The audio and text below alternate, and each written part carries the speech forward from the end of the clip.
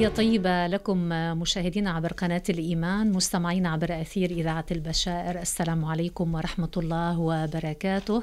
أينما كنتم ترافقوننا أهلا بكم. وهذه حلقة جديدة من برنامجنا الأسبوعي لتسكنوا إليها. تنطلق برفقتكم.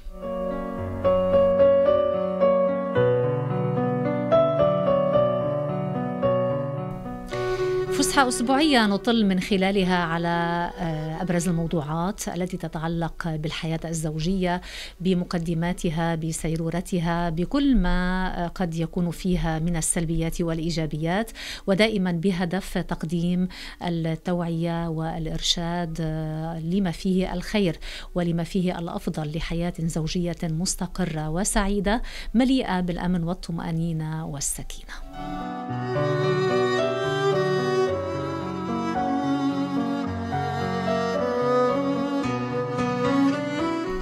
موضوع جديد نطرحه على بساط البحث معكم في رحاب هذه الحلقة مشاهدينا ومستمعينا قبل أن نتعرف إليه وإلى التفاصيل التي يحملها اسمحوا لي أن أرحب بضيفتي التي ستشاركني الحلقة في الحوار وفي الرد على مختلف الإشكالات التي يحملها الموضوع. ضيفتي المتخصصة في الإرشاد والتوجيه النفسي الاجتماعي وأيضا المتخصصة بالعمل الصحي الاجتماعي الأستاذة وفاء طراف. أرحب بها معنا في الاستديو صباح الخير أستاذي وفاء. أهلا وسهلا فيك. صباح يا هلا قبل أن ننطلق في الحوار وكالعادة نذهب إلى مقطع صوتي. نتعرف من خلاله على الموضوع اليوم الذي اخترنا له عنوان أول ولد. نتابع مع الزميلة مريم الضحي.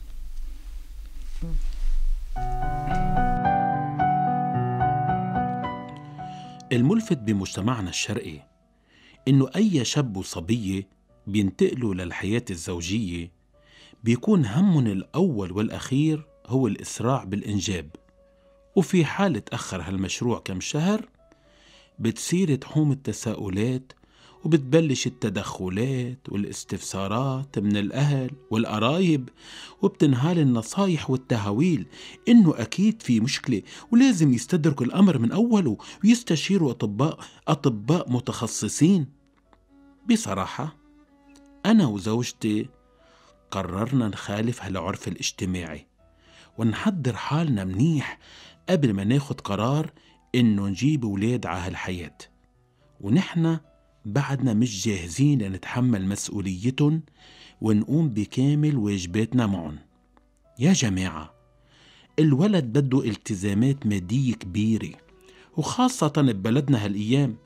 وهيدا بيتطلب مردود مادي مرتب كل آخر شهر. والولد. بده أهل واعيين مثقفين نفسيا وبيعرفوا ألفباء التربية وأساليبها يلي بتنتج إنسان سوي. والولد بده بيئة أسرية مستقرة مع أم وبي متفقين على كل التفاصيل بحياتهم. وهيدا كله حتى يتأمن بحاجة لوقت. فلشو الاستعجال بقرار الإنجاب؟ ما بعرف. يعني ضروري يجي هالولد يعيش الكركبة اللي عايشينها ونتلبك فيه كيف بدنا نأمن له معيشته؟ أكيد قراري أنا ومرتي ملاقي معارضة قوية من أهلنا وأصدقائنا يلي بيعتبروه قرار جريء وغير عادي. وبيعبروا عن خوف علينا من إنه يصير عنا مشاكل صحية منعود ننجب أو نتعود على حياتنا بلا أولاد. بعد ما صار مارق سنوات على زواجنا. بس نحنا مصرين إنه بس نصير جاهزين. رح يكون من دواعي سرورنا وبكل حب نستقبل أول مولود بعيلتنا مولود يفتخر فينا كأهل. إنه ما نقصنا عليه شي بهالحياة لا ماديا ولا معنويا.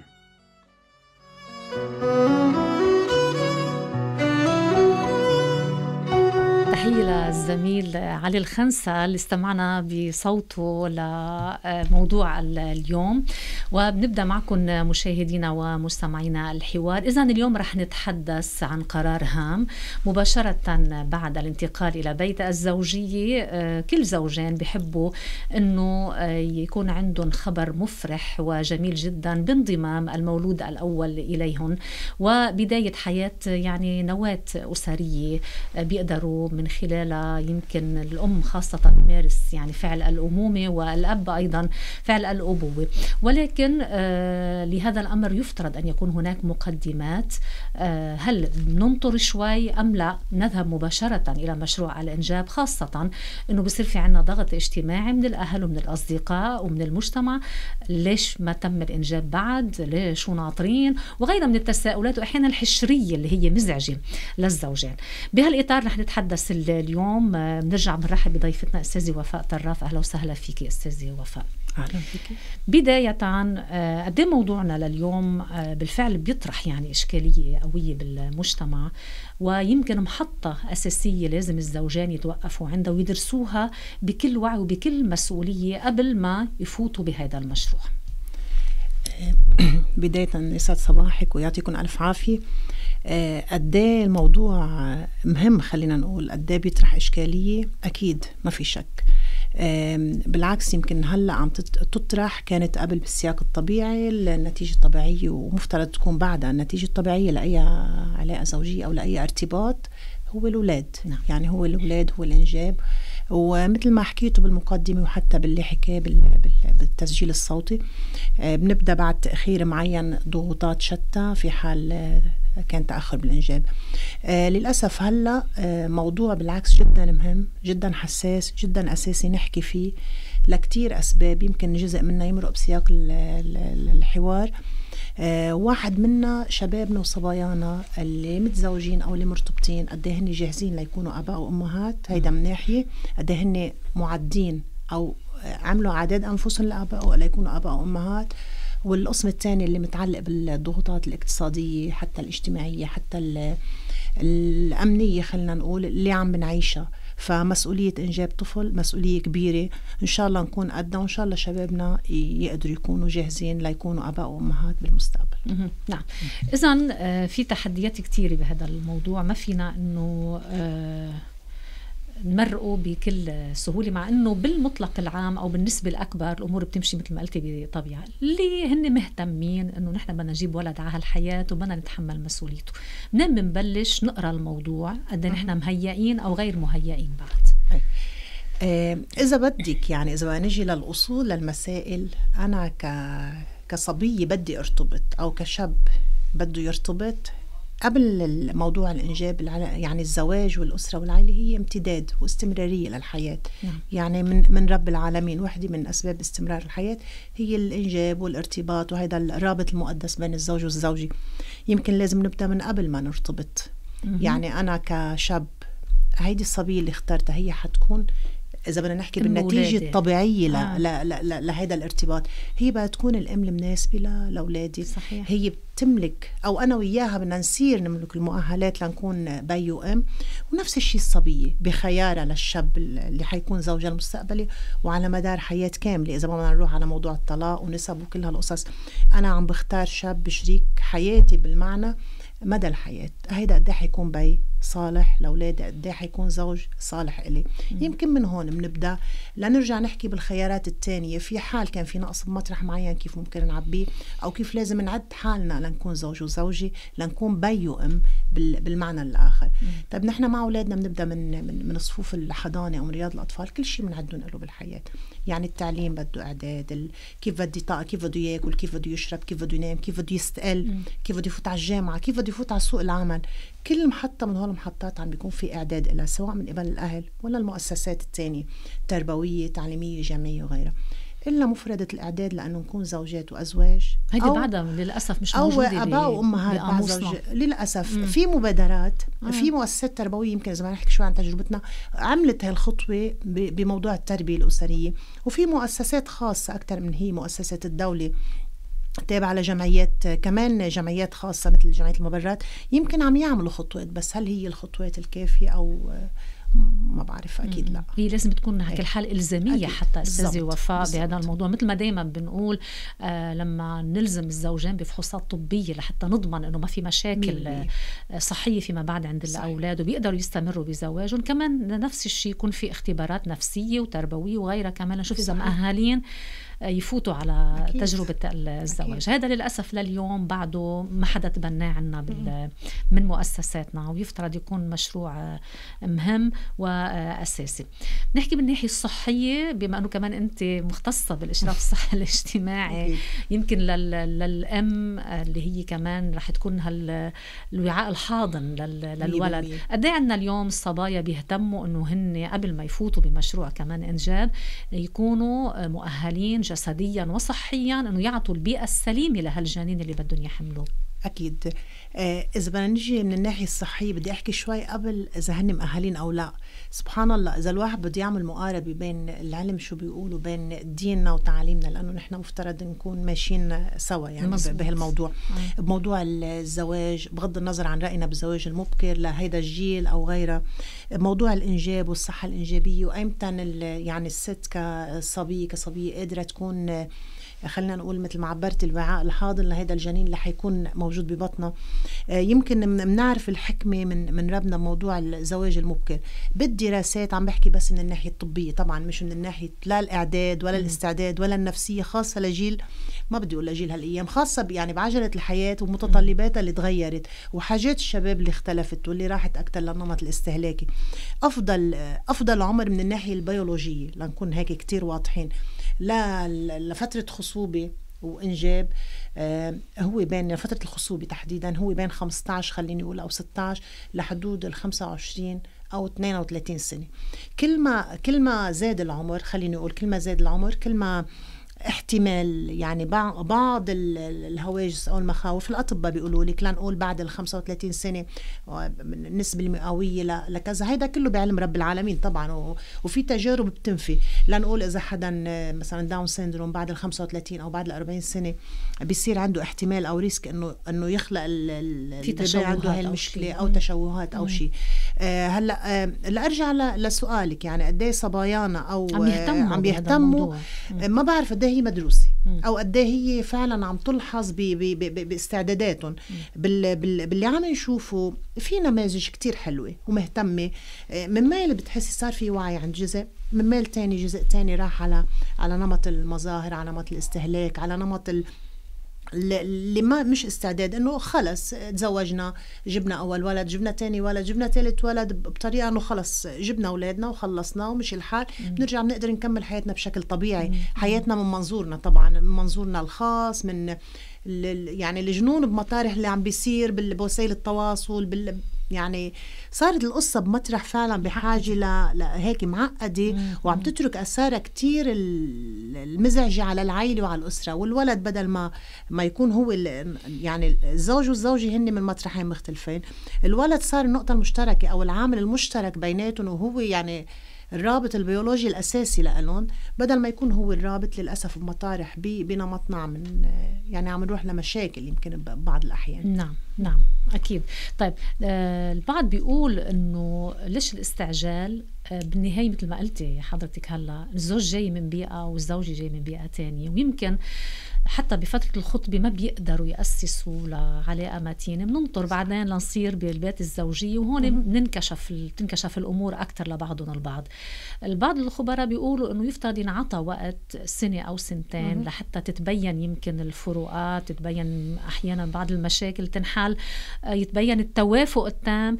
وبعدين نفوت بمشروع الإنجاب. ساعتها بيكون جاي هلا الضيف على بيئة نظيفة. سليمة وجاهزة. مش بعدين بنجرب نحن وياه الحياة وممكن يكون هو ضحيه هيدي المشاكل. صحيح صحيح. لا لك شيء. بهيك وضع يعني ما فينا نعمم وما فينا ننفي اللي حضرتك قلتي. هو رأي خلينا نناقشه 100% يعني أنا مفترض بأصل اختياري لهالشاب أو الصبيه بالظاهر طبعا لأنه وقت بنصير بالبيت كسيدات وكهيدا بتعرفي مثل مثل ما قلتي في كتير تفاصيل بتصير مختلفة. مزبوط. آه جاي من بيئة من نمط تربيه الزوج والزوجة نفس الشيء من نمط تربيه بتقديري منيح إذا يعني منيح نتعود على على بعض كعائلة سوا. يعني أنا إذا بدك تجي لرأيي الخاص ما يكون قرار الإنجاب أول سنة وهذا برجع بقول راي خاص. للاعتبارات اللي قلتيها حضرتك آه، مش لأنه يمكن نوصل لطريق مسدود بهالعلاقه الزوجية لا بالعكس لنقدر نعمل صيغه مشتركة نتفق على آه، نمط حياتنا مع العنصر الجديد بالعائلة اللي هو صار مسؤوليتنا من مجرد ما آه، خلق.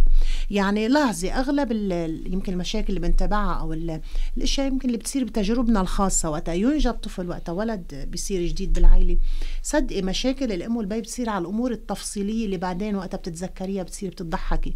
يعني على على نومه أكله للولد وين بده ينام آه، هل لازم خليه ثلاث ساعات أو أربع ساعات؟ في أزواج حتى بيتدخلوا بهالامور التفصيلية. مم. لأنه هو عايش تجربة وهي عايشة تجربة مزبوط. قد ما تكون بتشبه بعض كليا وكل حدا بيعتبر حاله صح.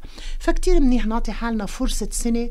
خليني أقول نتعود على بعض كزوج وزوجة ب مثل ما نحن بالبيت لأنه فترة الخطبة والتعارف آه، بتعطي هذه الصورة الصادقة بس الحياة اليومية التفصيلية آه، لا بدها بدها عن جد إنك تعيشي مع زوجك آه، هيدا هيدا الاستمرارية خلينا نقول لمدة سنة. بس برجع بقول مش معناها إنه نحن ناخذ هيدا الخيار. لأنه بي كمان بحالات بتجارب للأسف أخذوا هالخيار من راسهم باساليبهم بطرق الخاصة يمكن عملت مشاكل على المدى البعيد. بدنا خ... نستشير يعني قصدك هون. عبر طبيب. آه. يعني أنا بدي آخذ هيدا الخيار بإني أنا ما ما ما أنجب اول أول مم. سنة. فمنيح الاستشارة الطبية لازم. مم. لأنه يمكن بالأصل أنا يمكن ما بعرف يكون عندي أصلا مشاكل وأنا ما بعرف. مم. وحتى قد إيه أنا يعني وسيلة المنع الحمل كل هال الأمور التفصيلية تكون عبر رقابة طبية آه، تكون عبر رقابة طبية وكل حالة بحالتها. لما نحن نشتغل من راسنا انه نحن ما بدنا نجيب أولاد. بهيك وضع بنكون امنا الظروف اللوجستية الظروف الصحية. البيئة الحاضنة مثل ما عم تقولي لاستقبال هيدا الجديد اللي مفترض يعمل جو إيجابي وحلو بالبيت مش العكس. هيدي الكركبة مثل ما سمعناها كمان بال قد إيه عن جد المولود الجديد ممكن يعملها. لحد نوقف عندها شوي معك أكثر قد إيه بيعمل ارباك بنعرف نحن بفوت بلخبط الحياة طالع نازل. من نوم الاهل لمشاريعهم اليومية لحياتهم. بصيروا مجندين كأنه لهالمخلوق اللي هو صار بين إيديهم. هيدي النقطة بنقدر نستدركها نوعا ما. والله هيدي تبعا للواقع اللي بيصير بين إيدينا يعني. بتصير آه، يعني مواكبة للي للي للي بيجد معنا. آه، فينا في جزء بنستدركه وفي جزء ما بنقدر نتحكم فيه. آه. اللي بنستدركه بأنه نحن صورتنا عن هال الحياة الزوجية. مم. عن علاقتي بزوجي عن علاقته بزوجته. كيف بدها تكون؟ وهيدا الجديد على العائلة اللي مثل ما قلت لازم يعمل جو دفى جو عائلي يعني جو العائلة الحقيقي بتحسي بمطرح بضله ناقص بدون وجود طفل. على أنا عم بحكي كمان رأي خاص كدفى كعائلة كحياة كروح بالبيت. بنقدر نستدركها بأنه نحن نقرر كيف بدنا ندير خلينا نقول ملف هيدا الولد معنا بالبيت. يعني معلم منيح نتفق وين بده ينام. وإذا فاق بالليل بده ياكل. كيف ننظم له أكله؟ منيح بأي تفصيل نطلب استشارة المختصين. وعاده الطبيبه هي بتقدر تساعد وفي اختصاصين تانيين بمطرح. بتعرفي بعد الولادة بصير عندك آه، آه، يعني آه، أمور تفصيلية بدنا متابعه وفي زوجات بفوتوا بموضوع اكتئاب. والملفت إنه بالدراسات إنه في أزواج كمان بفوتوا بهيدي المرحلة مع زوجاتهم وهي مش كتير يعني مش كتير معممة. منيح نكون مستعدين لهيدا الولد. لما نعمل هيدا الإرباك اللي نحن ما بنقدر نعمل خليني أقول سيطر عليه. مم. في جزء من الإرباك موجود موجود. وخاصة وقت بتكون لنقول الست بتشتغل والزوج بيشتغل واثنين بيمشوا سوا على شغلهم بكير لنقول في إجراءات لازم نكون متفقين عليها مسبقا في في نظام معين لازم نحطه. بس الأمور التفصيلية الثانية بالطفل بالوليد خليني أقول. أنا ما فيني أقول قبل ثلاث شهور ما عندي طوارئ. يمكن حرارة يمكن إسهال يمكن ما بعرف شو. هو الأمور التفصيلية بدنا نشوف كيف بدنا نتعاون. يعني الزوج والزوجة كيف بدهم يتعاونوا فيهم. خاصة وقت بتكون الزوجة عاملة لأنه أنا بدي ميز كمان بين اثنين يعني بين الست متفرغة آه، أم متفرغة آه. أو مرأة. أم عاملة ودور الزوج هون داعم وأساسي بس هون أكثر هون أقل كمان بتفرق. تتغير الخيارات بهالحالة لأنه أنا إذا عاملة بدي صير فكر مين بده يهتم لي بهالبيبي إذا هلأ إجا لأ خلينا نأجل شوي مثلا بنكون ظبطنا وضعنا. بيكون استقرينا بنكون إيه صحيح صحيح. موضوع المادي كمان يعني ما فينا ما نعرج عليه أستاذي وفاء خاصة الزوجين أحيانا بفوتوا حياة زوجية عندهم قروض في أقساط في آه، يعني بعد وضع مادي مش مستقر. كمان بيكون الخيار أحيانا بالتأخير لحتى ما يجي عبء جديد على العبء اللي هن آه، عايشينه. وللأسف اليوم اللي عم بنعيشه بالبلد هيدا عم يمكن يكون خيار كتار اليوم. عم بيزيد وحتى عم بي خليني أقول عم بيحد من عدد آه، يعني من قد إيه أنا بتجيب كم ولد. هلأ إذا بدك تجي لنا يعني إذا بده يشتغل الواحد منطلق من من اتكاله على ربنا أكيد. بس إنه لا بمطرح في ضغوط في اعباء في في كتير كتير كتير ضغوطات عم بيعيشوها يعني وقتها بنشوف سعر هي السلعه قد صار سعر هي السلعه قديش صار. أكيد الشباب والصبايا هلأ اللي, اللي مشاريع بس بالحليب وبالحفاضات بالضبط. يعني وبيحسبوها بالهيدا حتى بالحضانة بالحليب بالحفاضات بالدواء بالبنادول قديش صار سعره. وهذا الشيء للأسف صار يعني صار عبء عبء نفسي أكبر. وعبء نفسي على أقتصادي على اجتماعي بكل الميلات إنه أنا حابب أكون بي وام بس مش قادر مثلا كمان هيدي هذا مؤسف كثير إيه إحنا اليوم إيه. نكون حاسين حالنا جاهزين لهالاستحقاق ولكن ماديا ما عم نقدر نحن نوفي هذا صحيح الموضوع. صحيح. بس ما بدنا نبالغ يمكن شوي. هلأ على كل حال رح نحكي مع السيد بلال لنشوف انه كمان في اتكال على الله عز وجل السماء يرزقكم وما توعدون يعني. إيه أكيد. وفي تفاصيل كثيره بس أحيانا بده يعني يشبك الواحد الواحد ما بين العقل أكيد. والدين أكيد. لحتى كمان اعقلها وتوكل صحيح. مثل ما كمان نحن موصيين بينضم لنا سماحة السيد بلال الوهبي لحتى نستفيد من من رأيه تحديدا بهالموضوع السلام عليكم سماحة السيد ويعطيكم ألف عافية وعليكم السلام ورحمة الله. الله يعافيكم يا رب. يا هلا. سمحت السيد طبعا اليوم عم نحكي عن موضوع هام جدا بحياة أي زوجين ببداية هالحياة الزوجية وهو أه قرار الإنجاب أو تأخير أه أو أحيانا الامتناع حتى عن أنه ناخذ قرار بالإنجاب. بداية ما نظرة الإسلام لهذا الموضوع؟ وطبعا كلنا بنعرف أنه هناك تشجيع نوعا ما بأنه يكون في هناك إنجاب لأي يعني تجربة زواج. السلام عليكم جميعا ورحمة الله وبركاته. بسم الله الرحمن الرحيم. بداية خليني أقول أنه الإسلام يشجع على الإنجاب وكذلك الإسلام يشجع الإنسان أو يحث الإنسان المؤمن على أن تقوم حياته على التوكل على الله سبحانه وتعالى نعم. وعلى أن يتوازن في الحياة. وعلى أن لا يكون يعني مفرطا ولا آه، ولا عنده إفراط ولا تفريط وأن يسعى في الحياة أن ينظم حياته أيضا أن يحدد أولوياته. يعني هناك منظومة كاملة الإسلامي بيتعامل آه، معها أو مع الفرد على أساسها. بالنسبة إلى الإنجاب نحن بنعرف أنه اليوم وأنا امبارح كنت عم بقرأ تقارير أنه آه، العالم في حالة تراجع في حالة الإنجاب. وهناك مخاوف من أنه يعني النسل البشري يوصل لمرحلة يصير في مرحلة من الخطورة. وهناك طرح أيضا أن تستعمل الآن الأرحام البديلة أو الصناعية. وعم ينبحث عن أخلاقية هذا العمل ويقولون ليش عم يحاولوا يعني يستعملوه؟ لأنه صار في عزوف عن الإنجاب وخصوصا من جانب النساء لا لأنه النساء ما عندهم قدرات مالية أو الأهل على تربية الأبناء وإنما لأنه المرأة بتعتبر حالها أنه أنا مثل الرجال ليه أنا بدي أحمل؟ ويتغير جسمي وبدني وتطلع علي يعني تغيرات معينة. وهو بده يكون فاضي فخلينا اثنيناتنا نروح نجيب ولد من خلال ما تبني. يسمى ب لا لا مش غير التبني آه. لا هون في طرح إنه يصير في أر- ارحام صناعية مم. ارحام صناعية عم يشتغلوا عليها هلأ هن علميا هاي الشركات الكبرى مثل جوجل وأمازون وهي الشركات التكنولوجية الكبرى مم. عم تشتغل على هيك جو بالمصادفة أنا امبارح يعني هيك قريت عن هذا ال- الأمر. مم. طيب نحن من ناحيتنا لا نحن ندعو إلى الإنجاب ونعتبر أن الذي يتكفل برزق الولد هو الله سبحانه وتعالى. الله تعالى قال بسم الله الرحمن الرحيم ولا تقتلوا أولادكم من إملاق. نحن نرزقهم وإياكم. وقال أيضا ولا تقتلوا أولادكم خشية أملاق نحن نرزقكم وإياهم. تأكيد يعني بآيتين تأكيد. يعني بالحالتين إنه بالحالة الأولى إنه أنتم ما تقتلوا أولادكم خوف من الفقر. فهول رزق جاي وفي مرة بيقول إنه لا لأنه أنتم فقراء ما تقتلوا أولادكم فرزقكم مضمون ورزقهم كمان هن مضمون. لكن هذا بنعرف نحن إذا كان الرزق مضمون هذا لا يعني إنه الإنسان إذا كان في حالة من الشدة والضيق إنه روح يعمل على الإكثار من الإنجاب.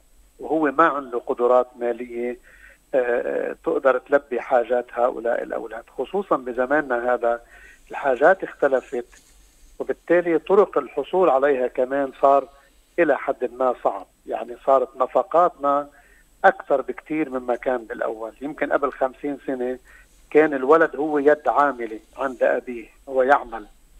يعني مجرد إنه يربى سنتين ثلاثة أربعة خلص يبلش مع مع بيه اليوم لا. اليوم الولد حيبقى مكلف إلى حد ما إلى أن يتخرج من الجامعة. طبعا لأنه في عندنا نحن تغيير ثقافي عندنا وهو سلبي على فكرة إن إحنا في عندنا حياء يمكن بأنه الطالب يشتغل ويروح يدرس. نعم. أو أنه يكون يواكب بيه بالعمل أو سوى ذلك. فإذا نحن أنا اللي بدي أقوله أنه نحن لازم يكون في عندنا إنجاب.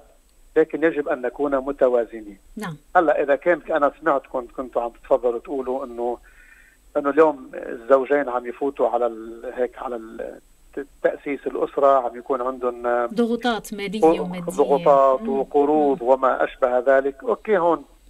يعني إما ان إحنا فينا نأجل يمكن سنه ما في مشكل.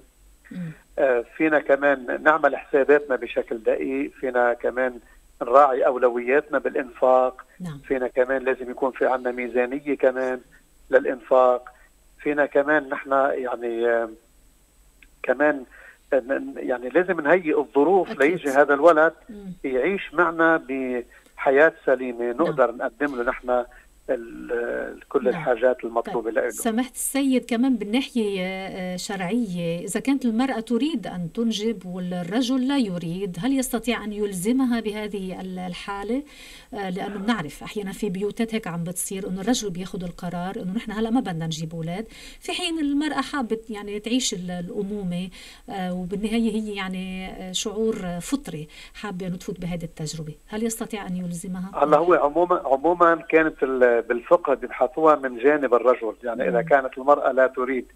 والرجل يريد, يريد فليس لها إيه ليس مم. لها أن تمتنع عن ذلك نعم وبالتالي بتصور أن تعمم هذه الحالة عند الاثنين يعني مم. إلا إذا كان الرجل يعني قد يوصل الأمر بينه وبينه إلى ما لا يحمد عقباه فحينئذ عليها أن تختار ما يختاره هذا الزوج حتى تتلافى المشاكل يعني نعم. على كل هذا الأمر يجب أن يكون عليه تفاهم بين مم. الزوجين مم. وتوافق نعم. أساسا الحياة الزوجية كلها يجب أن تقوم على قاعدة التفاهم والتوافق يكون أفضل نعم طيب في ناس يعرض عن الإنجاب نهائيا وبالفعل أنا بعرف نماذج يعني ما لم ينجب لأنه هو كان عنده حياة شوي صعبة فبيقول إنه ما بدي جيب أولاد إجني عليها ومع إنه مزوج وقضى حياته هيك ما بعرف كيف يعني قد ينظر إلى هذه التجربة هذا التفكير خاطئ جدا وهذا سوء ظن بالله تبارك وتعالى آه.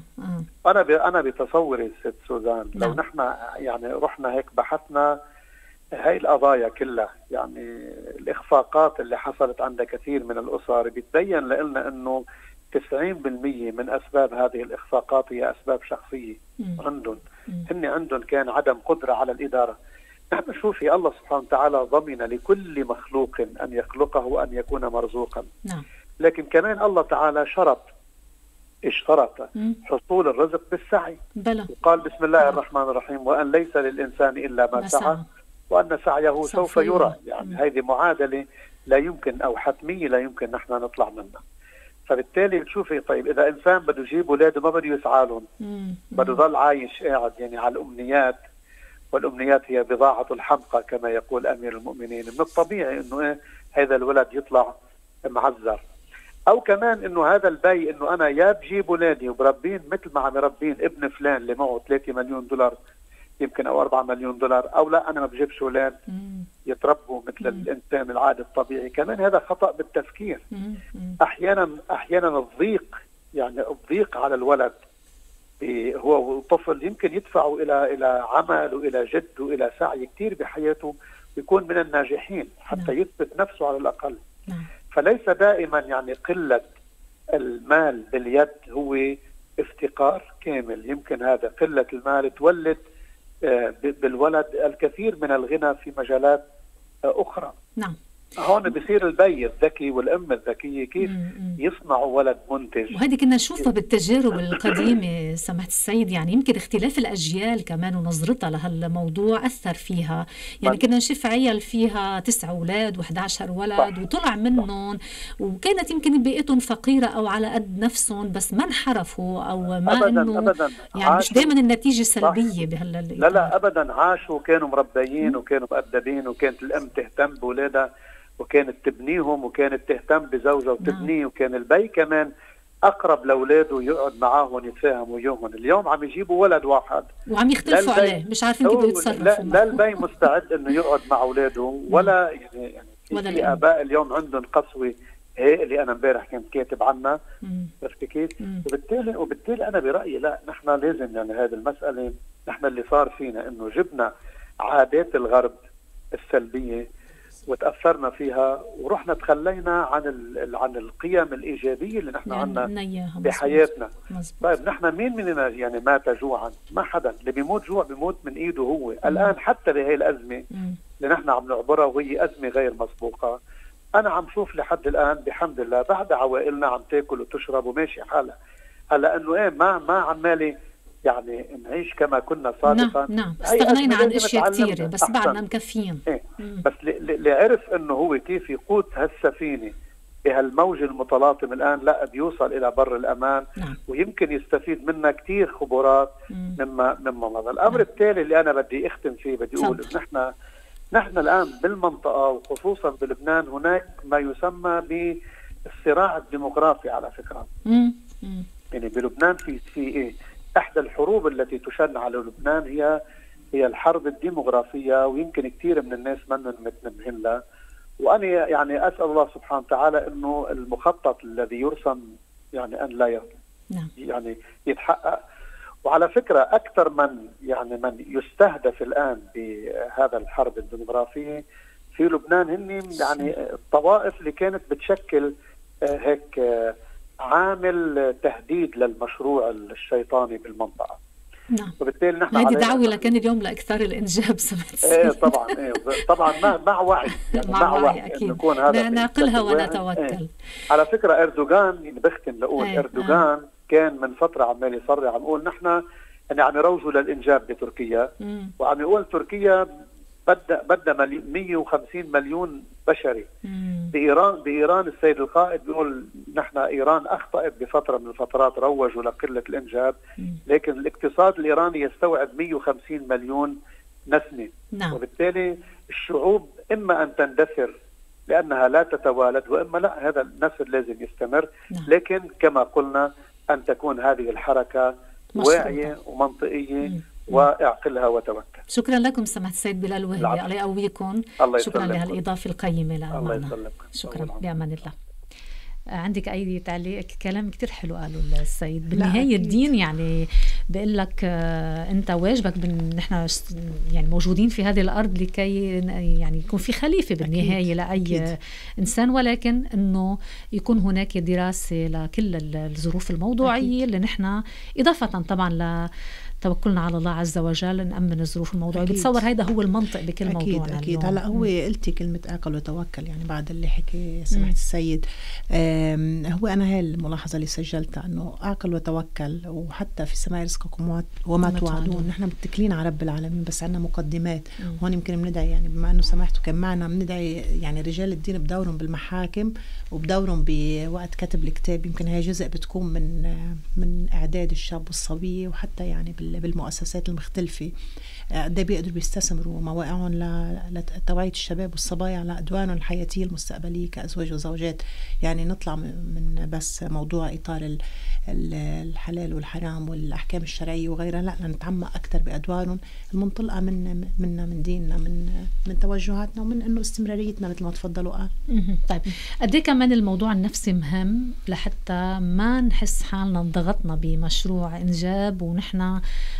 مضغوطين نفسيا يعني كمان هون بده يكون في لفتة بين الزوج والزوجة إنه حتى هن مثل ما يمكن راعوا الجانب الصحي البيولوجي إنه كمان هن يراعوا الوضع المادي صحيح. كمان نحن نكون مستقرين نفسيا حتى نفوت بهيك مشروع لأنه بنعرف حتى موضوع الحمل بياخذ كثير من نفسية صحيح. المرأة وفيما بعد الإنجاب مثل ما قلنا بيعمل شوية إرباكات بالعائله صحيح. صحيح. الوضع النفسي بده كمان يراعى استاذه وفاء طراف آه، أكيد يعني نحن إذا بدنا نحكي عن. حتى ما بدي أحكي تربية وما بدي أحكي تربية حديثة وغيرها.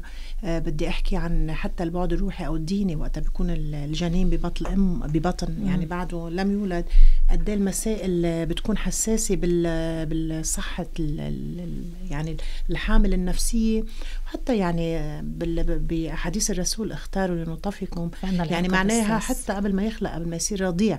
فالوضع النفسي أنا بحسه كتير أساسي كتير مهم. ولاحظي نحن بشغلنا أو باي بأي تدخل يعني سواء نفسي أو تربوي اجتماعي تخصصي. أول سؤال يمكن يسأل الحمل بهيدا الولد كان مرغوب أو هيك ما كنتم مخططين له. لأنه الوضع النفسي حتى بيأثر. حتما حينعكس. حتما. آه، شو مشاعرها شو مين قال إنه الجنين ما بيحس؟ آه آه زعلانة مبسوطة فرحانة آه مضغوطة, مضغوطة. فالوضع النفسي بالعكس أنا بحسه يعني بعد مقدمات إنه الصحية وجهوزيتها من كل النواحي حتى الطبية لناحية أنه تكون حامل. الوضع النفسي هو يمكن الإطار, الإطار الحاضن اللي بده يولد فيه هيدا الجنين بده يكون بعائلة واستمرارية الوضع النفسي بعد ولادته. هي اللي بتحكم على مستقبله. أكيد لهيدا قد إيه صعب كمان اليوم بعالمنا؟ أه، والله هو أنا بحس عم بتزيد الصعوبة لأنه للأسف يعني للأسف بالنماذج اللي عم نعيشها والنماذج اللي عم نشوفها والنمط الاستهلاكي اللي عم نعيشه بالمظاهر. بين الم... بين الصورة الافتراضية اللي عم نظهرها وبين حياتنا الواقعية بقلب بيوتنا م. وأنا مش عم بحكي صراحة كثير عم بتشدد على هيدي النقطة لأنه يعني. لأنه آه. لأنه في صار في صار في هو صار في ثغرة بين إني أنا صرت عم بحتفل بمعرفة جنس الجنين آه. بين إنه رجع آه. احتفل كنا كنا نعمل عيد ميلاد صرنا هلأ ثلاث شهور ست شهور تسع شهور سنة رحنا على نمط الاستهلاك الناس تفرح يا أستاذ آه مش غلط مش غلط مش غلط التوازن بس ما نروح على كتير. على على هيدا. على هيدا المظاهر بهي الطريقة بالوقت اللي نحن وين بيتنا وين اولادنا وين أولوياتنا؟ لاحظي نسب الطلاق ما بدي أقول قد إيه عم بتزيد نعم. بس إيه في نسب طلاق بعمر صغير عند الشباب والصبايا مع أولاد كتير صغار. فيعني هن جيل الأمات والبيات اللي هلأ. ما بنعرف إنه ليه يمكن بدها دراسة بس يفرحوا بس يفرحوا مش على حساب آه، يعني افتراضي. خلينا نشوف إنجازات من قلب العائله إيه إنجازات ثانية إيه يعني مش بس إنه صار عمره هالقد طلع سنه ما بعرف شو صار. صار بس إنه كمان نشوف شيء ثاني إيه إيه. وحتى اللي بيلاقي حاله برات هيدي المنظومة ببين كأنه هو شاذ عن هذا الموضوع بتصيري بدك تبرري آه. أنت هيدا مش نمطي مش هيدا مش مش مش مش حياتي مش نمطي هيدا يعني هذا الشيء يعني خلينا ناخذ شيء ثاني من عادات الغرب خلينا ناخذ شيء ثاني من يعني بنفرح مش غلط. بس بهيدي الطريقة بهيدا النمط اللي, اللي صار فعلا ملفت وظاهر ووسائل التواصل برجع بأكد وبعيد زادت وعززت آه، وحتى عملت شرخ يعني بالعلاقات بالأسر بهذا الجانب للأسف الشديد. هون عم بخلينا نقول لأ الولد مكلف نحن شو فاضيين أو قادرين نعمل له كل هالحفلات لا وبصير بدهم يحسوكي بالذنب إنه أنت مش مش مش يعني وقت بقول لك ليه ما بتعملي لي مثلا لنقول عيد ميلاد؟ والله ليه ما بتخليني أعمل هالشغلة؟ طب ما رفيقي طب ما ما نحن صارت يعني الدائرة الضغوطات وموضوع التنشئة للولد والضغوطات اللي عم بعيشها من النماذج اللي عم بيشوفها. كمان هيدي عم تترك أثر وعم تترك عبء على الأهل وقتها بيكونوا مش واعيين للموضوع. م. يعني هي آه قصة ولد أول شوف لوين رحنا بس للأسف هيك هيك الواقع عم بيكون. إيه؟ م. طيب. القرار إنه نحن نأخر الإنجاب بيلاقي آه معارضة قوية جدا. أول شيء الأهل بخافوا كثير إنه لا كيف هيك بركي بعدين آه، معدتوا قدرتوا انجبتوا خلينا دغري بعد الزواج. صحيح. المحيط كمان بصير يسأل يي ليش بعدكم ما جبتوا أولاد؟ بصير نروح لحشرية مش مقبولة ابدا ومش حلوة. آه وبصير ما نكتر أسئلة. رح نناقش هذا الموضوع. بس صح. خلينا نرحب كمان بضيفنا اللي رح يشاركنا الرأي واللي هو من وحي تجربة خاصة آه جريئة وغير عادية. بينضم لنا آه السيد عباس عبد الله. أستاذ عباس السلام عليكم. وعليكم السلام. أهلا وسهلا فيك بنحييك. أهلا فيك آه عباس أنا حبيت نحكي معك لأنكم آه أنتم كزوجين اخذين قرار أنه تتأخروا بالإنجاب. وهلا بدك تخبرنا كم سنة لكم يعني بهذا القرار. آه على أي أساس اتخذتوا هذا القرار؟ ولليوم آه، آه، هل بتعتبروه كان قرار بمحله؟ نحن صراحة خمس سنين يعني تزوجنا من خمس سنين. آه طبعا المعطيات بتختلف مع بداية الزواج. آه مع مرور السنين بتصير تختلف. حتى نظرتك للقرار بتصير تختلف.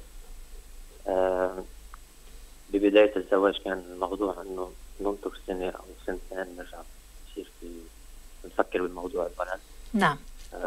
هلأ بعد خمس سنين مثل ما سبق لك نظرة تغيرت صرنا عم نروح أكثر من بس تاجيل صرنا إنه الولد بالحياة الزوجية شو حيغير؟ آه يعني صرنا نشوف تقريبا اذا بدك إنه هو مش شيء جوهري بالحياة. يمكن بسبب العيشة ببلاد نعم. غير المجتمع اللي ربينا فيها يمكن كمان هذا الشيء بيأثر. قد إيه أنتم مقتنعين بهذه القصة آه، عباس؟ وقد إيه زوجتك؟ لأنه بنعرف نحن اليوم المرأة بتحب تكون أم يعني. آه، الرجل يمكن ما يعني الموضوع يمكن بحالات استثنائية. آه، بس قد إيه مقتنعين إنه إيه الولد ما بيغير شيء بالحياة؟ وأنتم شايفين يعني أنتم كنتوا بأسر وشايفين المجتمع كيف بيقوم على أسر في في أولاد. ولهالدرجة الخوف موجود عندكم إنه يكون في ولد؟ لا لا ابدا مش خوف بالعكس نحن كان أنا ولا زوجتي عندنا إخوة وعندنا أولاد إخوة. فمرق يعني مثل ما بيقولوا على راسنا أولاد و... وأنا بحكي مثلا إنه مرق على راسي كذا جيل يعني. عندي أولاد هي عمرهم أربع سنين وعندي اللي صار هو يعني. فهي مش خوف ابدا. هي دراسة حرفيا هيك هو الموضوع. بدي دراسة بدي تقييمات كثير كذا جانب بيأثر بهذا الموضوع. فينا نحكي إنه الجانب المادي هو اللي أكثر شيء يعني أسس لهذه النظرة؟ لا ابدا. هو مم. يمكن ببداية الزواج بيكون هو الجانب المادي. بفكر فيه الواحد بس بعدين يعني حاليا نحن لا مش الجانب المادي. هو الواحد في عنده خلينا نقول الجانب المهني وطموحه احلامه اللي بفكر فيها الواحد ما بتقتصر على ولد.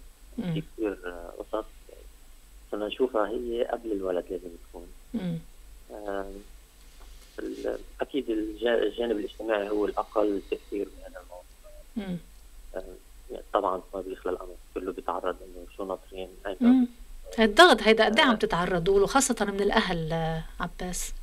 من الأهل من الأصدقاء ومن تحديدا عن كل ذكرى زواج لما بيرجع الواحد. يعني بيكتب شيء أو بيحتفل بطريقة معينة اللي بيقول شو بعدكم ناطرين. آه هيدا هون القوة بدها تبين إنه كيف بدنا نرد على العالم بدنا نحاول صرنا نحاول نغير نظرتنا فرضا نحن جبنا ولد شو تغير؟ هيك عندك ولد شو؟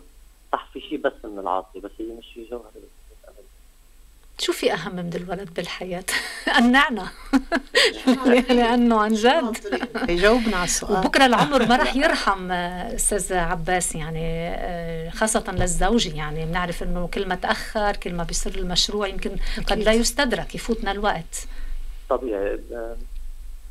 ما بعرف هي إذا كلمة أهم هي هو كمصطلح هو بيزبط بس آه، آه، برجع بقول لك مثلا يمكن حدا متعلم آه، ما حقق طموحه بيشتغل ما عمل شيء المشروع الخاص فيه يمكن هذا الشيء بشوفه. هو بتختلف النظرة من شخص يعني هون إنه ممكن أنا عندي شيء مهني بدي أحققه. نعم. طبعا مش كرمال المادي كرمال هو طموح هو طموح. آه ويمكن مطرح ما قلتي من شوي إنه في شيء بيخوف هو يمكن المسؤوليه لا, لا ابدا هي الأوضاع اللي عم نشوفها بكل الدنيا كورونا لعب شوي دور بالموضوع إنه آه، إذا واحد كان عم بفكر صار بده يشوف الدنيا رايحه شفنا كذا حالة آه، أمهات حوامل مجرد ما يأنس نعم. آه، يعني كذا نعم. عامل بيلعبوا بس هو الأساس هو ما ما بتفزعوا من الندم بعدين آه، سيد عباس؟ ما بتفزعوا انكم تندموا فيما بعد انه لا نحن كنا مقتنعين بشيء وتبين بعدين خاصة بس نكبر ونصير نحس أكثر وكان لازم يكون في عنا ولد بالعائله يساندنا نفرح فيه بيشكلنا شيء يعني بهالحياة شيء مختلف.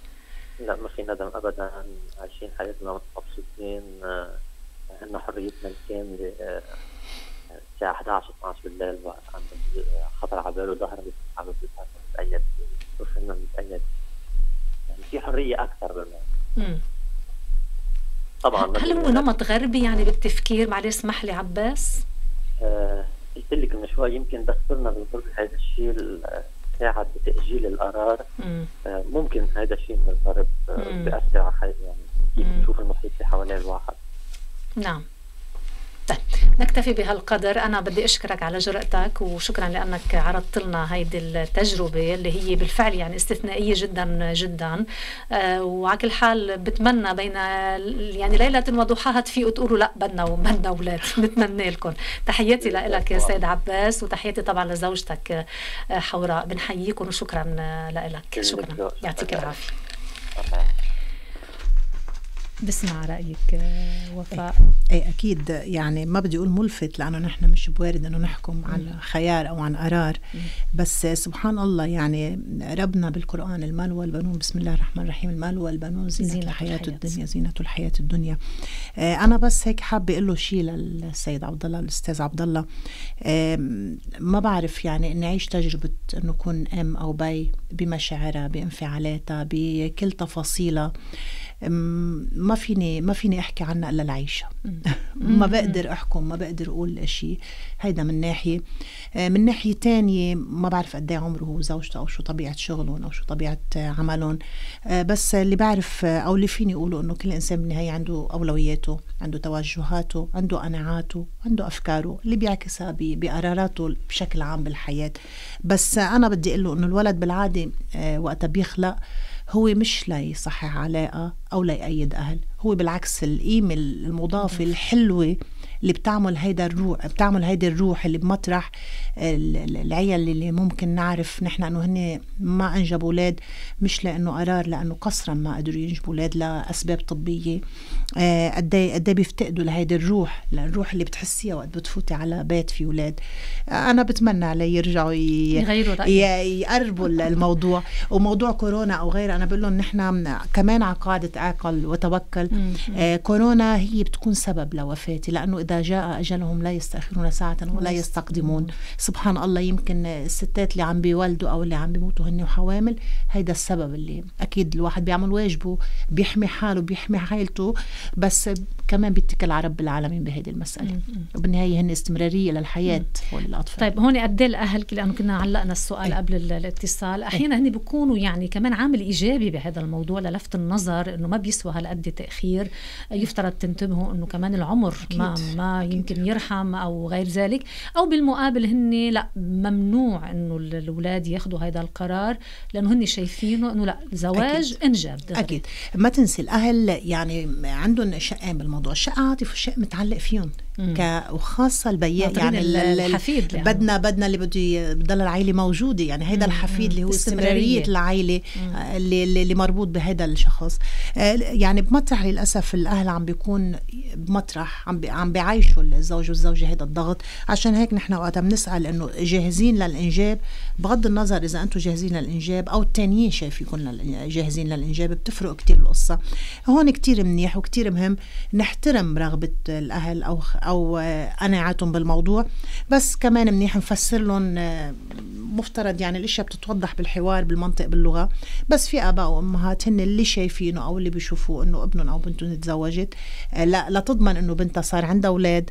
وإنه كأنه هذا الولد هو اللي بده يربطه هذا الشيء ابدا منه صح؟ نعم. وال والأهل الزوج يعني ليضمنوا خليني أقول استمرارية العائلة وكمان نرجع بنفوت بعدين. إذا إجت بنت أول ولد لا ما هيدا صار يلا تاني. مش لازم تطولوا موضوع إيه. ثاني هيدا. صحيح صحيح. أو إنه بدنا نكبر العائلة أو غيرها. يعني صحيح. بالنهاية الأهل بضلوا مثل ما قلتي يمكن عندهم نظرة خاصة للمواضيع بيتدخلوا من محبة ومن حنية أحيانا مش لا سمح الله من نية سيئة.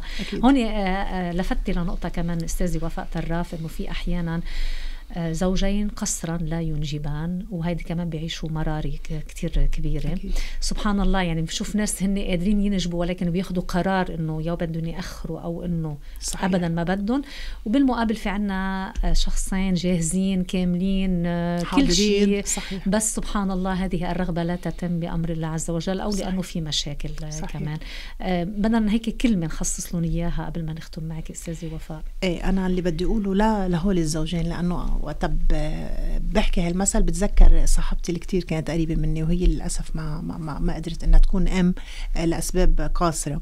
أنا بقول يعني حتى بنص الآية القرآنية يهب لمن يشاء ذكورا ويهب لمن يشاء إناثا بالمعنى حتى يعني ما نغلط يشاء ويجعل من يشاء من يشاء يعني حكمة عند رب العالمين ما بنعرف شو هي. هيدي إذا كانت بإيد رب العالمين. بس نحن ما نكون آه، وسيلة لأنه ما, ما ننجب أولاد. ما نعطي حالنا هيدي الفرصة.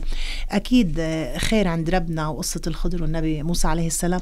يعني الخير فيما وقع يحطوا ببالهم على طول. يمكن ربنا محضر لهم شيء أهم. يمكن ربنا أجرهم كبير كتير. يمكن منزلتهم كبيرة عنده. لأنه الصبر بهالمسألة والإيمان والتوكل على الله والرضا الرضا كتير مهم. يعني لأنه الحسرة بتحسيها بتضلها موجودة عندهم. بس كتير مهم الإيمان والرضا والتوكل على رب العالمين. بيساعدوا كتير. وإنه نصوب أهدافنا لأشياء تانية كمان نقدر نخدم فيها من مواقعنا بالحياة كمان كتير بتساعد. م. أكيد. وما نحكم من أول سنة وسنتين إنه هو الزوجين ما في أكيد. يعني في مشكلة إنه ما بيجيبوا. بنعرف تجارب أحيانا ب 13 سنة وب 14 سنة حتى ب 20 صح الله سبحانه وتعالى رجع أعطاهم الذرية الصالحة. سبحان الله سبحان على كل حال حياة مليانة قصص بهذا الموضوع. صحيح. صحيح. بدي أشكر حضورك معنا أستاذي وفاء طرف حضرتك متخصصة بالإرشاد والتوجيه النفسي اجتماعي وأيضا آه، بالعمل الصحي الاجتماعي. شكرا لكل اللي قدمتيه من معلومات آه، وبحضورك المميز والجميل أيضا. شكرا شكرا, شكرا لك. ونشكر أيضا ضيوفنا اللي كانوا معنا عبر الهاتف سماحة السيد بلال الوهبي آه، وأيضا السيد عباس عبد الله اللي شاركنا بتجربة خاصة. شكرا لكل من تابعنا من مشاهدينا عبر قناة الإيمان ومن مستمعينا عبر أثير إذاعة البشائر. على أمل اللقاء بكم في الأسبوع المقبل إن شاء الله في حلقة جديدة. أنقل تحيات الزميل علي هزيمي في التنفيذ والإخراج الإذاعي والزميل علي خليل في التنفيذ والإخراج التلفزيوني. ورافقتكم في الإعداد والحوار سوزان شعيت دمتم بخير. السلام عليكم.